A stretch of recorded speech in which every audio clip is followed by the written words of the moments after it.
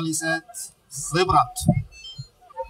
nüüd on see hetk, kui me süüdame siin Järve linnaosas selle aasta jaanitule.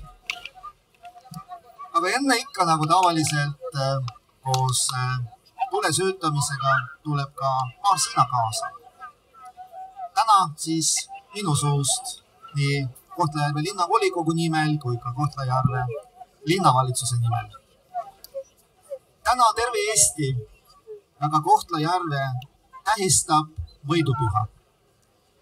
ja täna me räägime vabadusest, turvalisust, turvalisusest, julgeolekust. me räägime vabast Eestist, me räägime sellest, kui õnnelikud me oleme, et me elame vabal maal et me täiesti vabalt, turvaliselt ja lõbusalt saame tähistada meie riigi jaoks olulisi pühi. ja samuti täna me mälestame ja mäletame neid, kes sada viis aastat tagasi võitlesid meie vabaduse eest. ja me mõtleme kindlasti ka nende, nendest, kes ka täna võitlevad ka meie vabaduse eest. ja ma mõtlen meie õdesid ja vendi siit mitte väga kaugelt Ukrainast.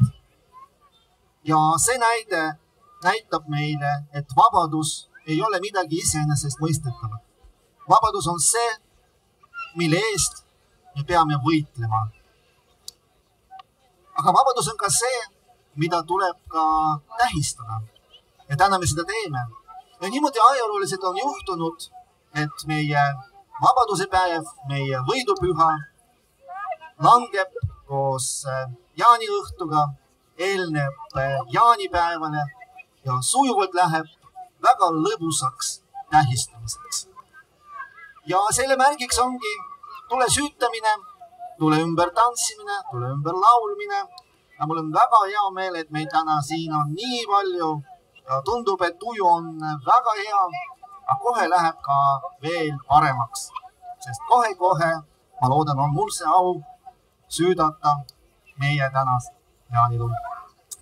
veel kord kõigile häid pühi, head võidupüha ja head jaani.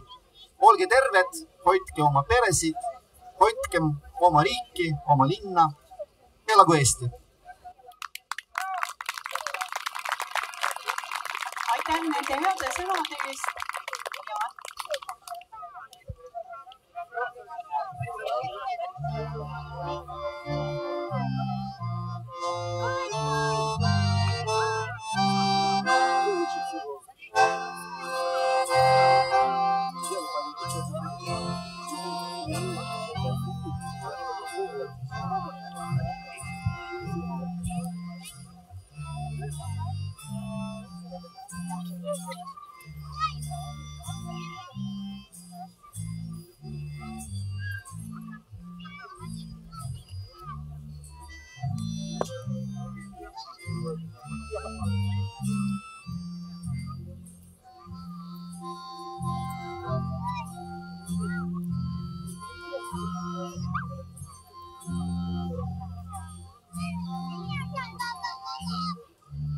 I'm